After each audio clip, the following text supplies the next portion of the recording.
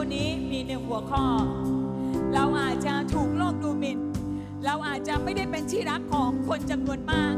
แต่แค่เรารู้ว่าในหนึ่งชีวิตของเราอะเป็นที่รักของพระเยซูคริสต์เจ้าอะนั่นก็เพียงพอแล้วข้อที่ 8 นะคะเราอธิษฐามด้วยกัน ขอให้เราอะรู้ตัวว่าเราเป็นที่รักของพระเจ้า และพระเจ้าทรงรักเราอย่างมากมาย อย่ายอมให้คำบูลลี่ของคนเนี่ยมาทำให้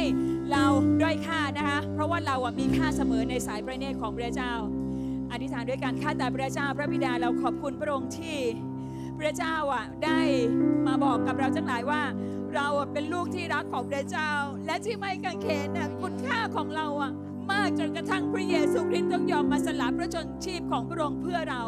ดังนั้นน่ะเราอาจจะ